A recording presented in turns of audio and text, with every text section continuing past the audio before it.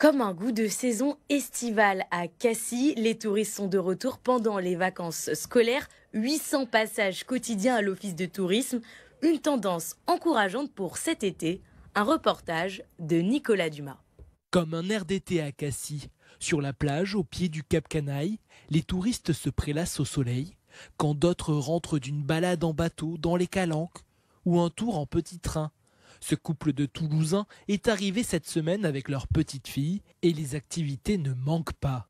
On en profite bien, on a fait les, les, la route des crêtes, on a fait le petit tour en bateau hier, on a un temps splendide, pas trop de monde, c'est l'idéal. Cet autre touriste hérolté profite également du beau temps. Avec ce temps magnifique, on est venu sur Cassis déguster une glace. On a l'impression que le printemps s'installe enfin dans sa boutique de prêt-à-porter. Les maillots de chez euh, Albertine qui, marchent super bien, vous voyez ce côté un peu euh, Brigitte Bardot. Cette commerçante constate le retour des touristes depuis une quinzaine de jours. Par rapport au mois de mars où c'était quand même plus calme, par rapport, je pense, euh, au temps, aux élections, enfin, à la situation économique sûrement du pays.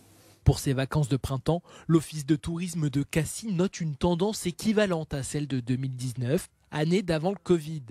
Les séjours s'allongent à une semaine et les vacanciers étrangers, de l'ordre de 20 à 30%, font à nouveau entendre leur accent sur le port de Cassis, comme un signe pour la saison estivale à venir.